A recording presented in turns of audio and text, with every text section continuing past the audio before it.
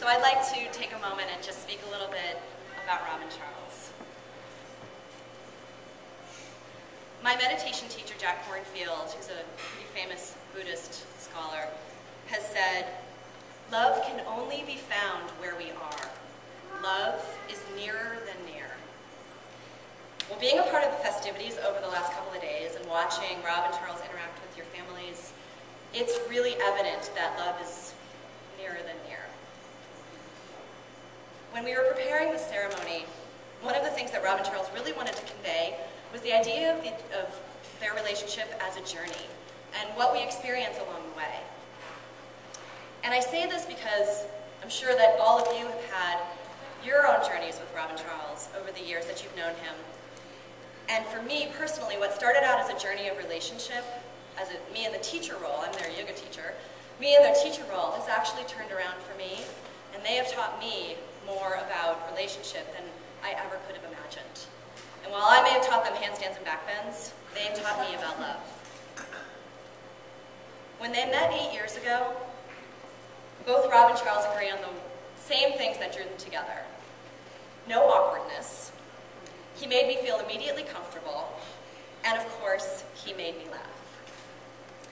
And I suspect that their relationship over the last eight years has taught us all something really special. It's a journey you've all taken us on, Rob and Charles. It's the first thing that we all in this room experience when we get to be with you. It's um, when we're with you individually and when we're with you as a couple. No awkwardness, immediate comfort, and a ton of laughter in your presence. So Rob and Charles started working on the ceremony back in February. And in watching them and being a part of, participant in helping them create this, I got a chance to see under the surface of their relationship, sort of under the hood, so to speak. And I noticed some really, really beautiful things. Rob, when you look at Charles, you fully look at him. I've never seen anyone so present to his partner.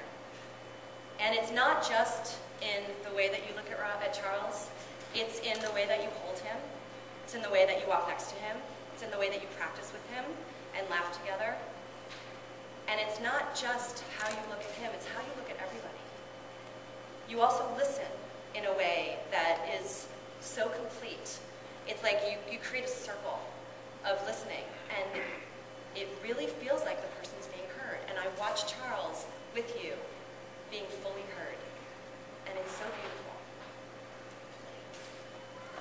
And Charles,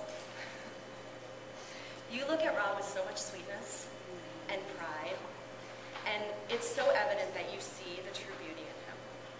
Not just on the surface, but what's underneath.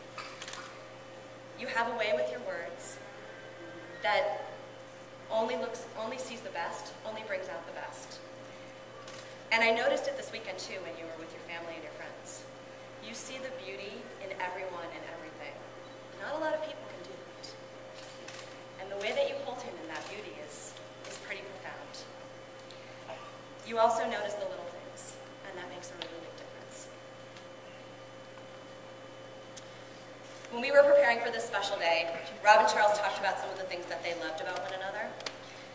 So for Rob, he said that he loved Charles's sense of humor and his ability to be silly, that he was kind and genuine, that he loved that Charles was open to seeing the world, he appreciated his sense of family and his upbringing. And of course, he had great fashion sense.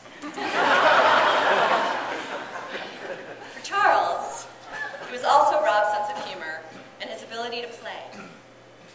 He loved that Rob was committed to the things that he believed in, that his extrovert helped Charles's introvert, and that Rob brought him out of his shell.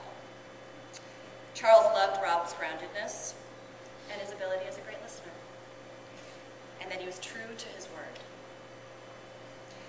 One of the things that Rob has said about Charles that he treasures, that has always stuck with me over the last couple of years, is that he encourages and supports my dreams.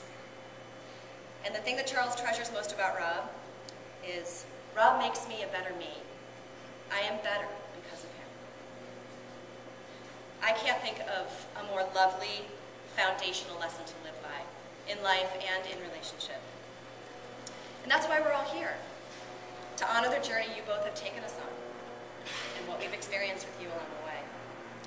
We're here as a community, as a tribe, so to speak, to stand witness to support your dreams as a couple, to be a touchstone to remind you of who you truly are, and to do our part to make your union a better you.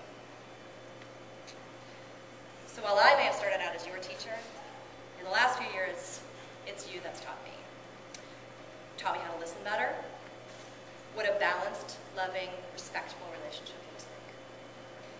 How as a couple you can walk through challenging times and be better because the journey.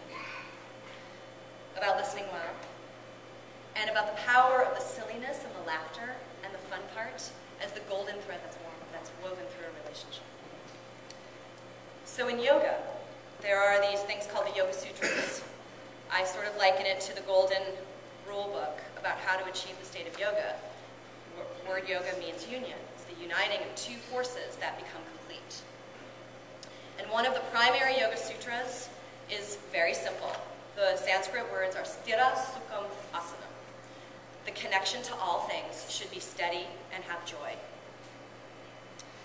In knowing you both, Rob and Charles, I think everyone in this room can say that you have helped all of us achieve more groundedness, more steadiness, and more joy. So thank you for that. So let's do some vows. You ready? A pregnant pause.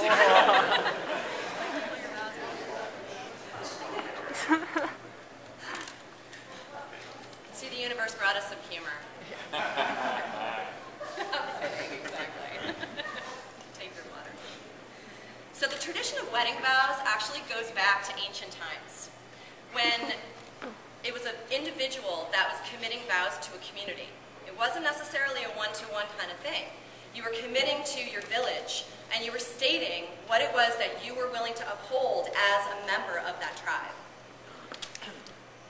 And the first wedding vows in history are kind of a symbolic representation of that newcomer's commitment to watch over and protect the tribe, and, and in exchange to get their protection as well. The vow is foundational. It's the couple's first and foremost effort to define and declare exactly what they intend to uphold in their relationship and as a partnership. It's kind of a big deal.